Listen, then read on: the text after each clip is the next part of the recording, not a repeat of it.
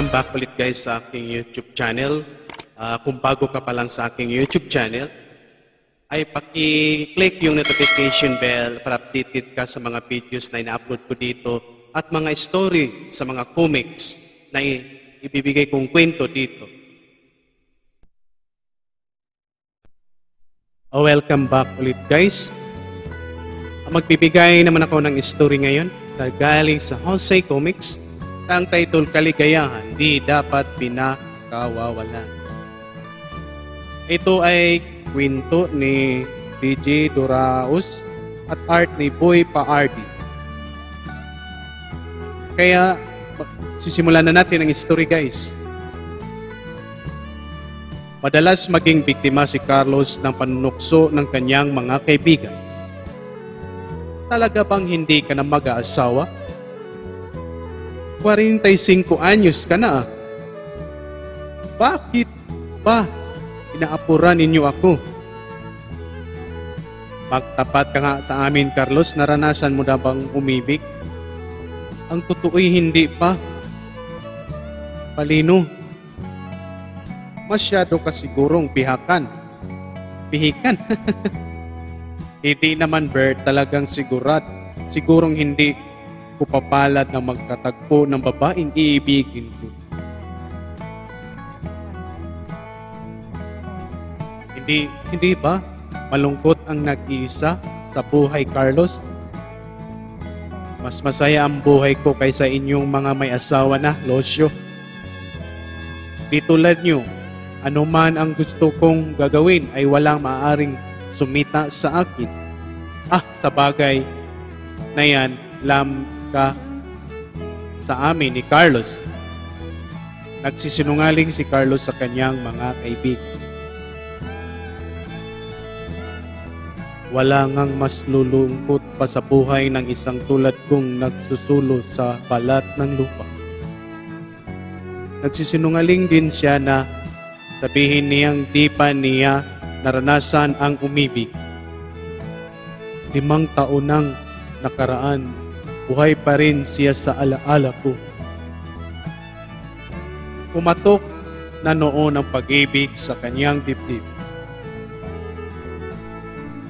Isang ka, isang ka ha, Pang Carlos? Pang Carlos na naman, ilang beses ko bang sasabihin sa iyo na Carlos na lang ang itawag mo sa akin? Ah, nalilimutan ko eh. Minsan mo pang kalimutan sa halip na Sonya. Lumalagak ang Sonya de la Cruz ang itatawag ko naman sa iyo. Nanatiling lihim ang pag-ibig na iyo pagkat sa edad kong 40 noon, 24 na taon ang tanda ko sa kanya. Inilagay ko uhong itong lahat sa ibabaw ng iyong mesa. Nag ang application mo letters nila, sir. O sige, thank you. Inisa-isa niya ang sabihin ng mga liham na iyon ng Sonia de la Cruz, dalawamput isang taong gulang at nakatira sa personnel manager si Carlos sa tanggapan. Pinapasukan niya. Marami pang aplikante sa inaanunsyo nating bakanting posisyon? Yes, sir.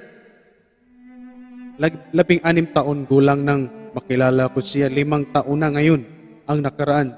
Siya nga ito. Kilos agad si Carlos. Telegramahan mo siya sabihin mong gusto kong ma-interview bukas. Yes, sir. Sa pagkataong it, ito'y hindi ko na siya nakapinakakawalan. Sariwa pa sa akin yung gunita ang huling pag-usap nila ni Sonia. Kung, kung hindi sa salibong pisong ipinahiram mo sa akin, ay baka patay na ngayon si Inay Carlos. Kaligayahan ko't nakatulong ako sa iyo. Punong-puno ang kahulugan ng sinabi ni, sa kanya ni Sonia. Bilang pasasalamat, wala kang hinihilingin sa akin na hindi ko ipagkakaloob sa iyo, Carlos. kahit ano. At nagulat si Carlos. Ha? Mula noon ay hindi na siya nagpakita kay Sonia. Delikadesa ang pumipigil sa akin noon at pinagtapat ko ang tunay kong damdamin. Ang pag-ibig ko ay kanyang dinaig ang takot. Naisipin niyang pinagsamantala ko ang pagkakataong iyon. Kinabukasan, Sir, Miss Sonia de la Cruz is here. See you. Please, sit here in. Dali-daling nagsuklay sa puhok si Carlos. Ay, sa wakas, totoong magiging maligaya na ako. Pigil ang hiningang hinintay niya ang pabubukas ng pintuan ng kanyang pribadong silid.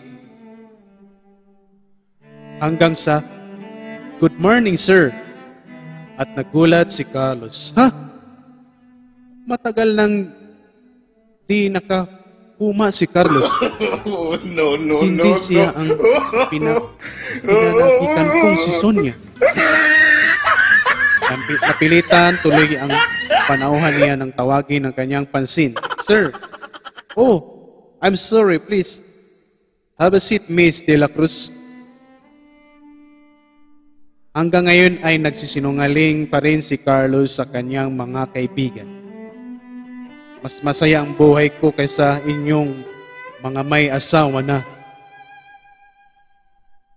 Yun guys, nagtatapos ang ating story. Ang ganda ng story. Akala niya na si Sonia ay iba pala. Kasi ang akala niyang maganda ay ang nagpakita ay pangit. Kaya hanggang ngayon ay binata pa si Carlos. Yun guys, salamat pala sa panonood at pakikinig.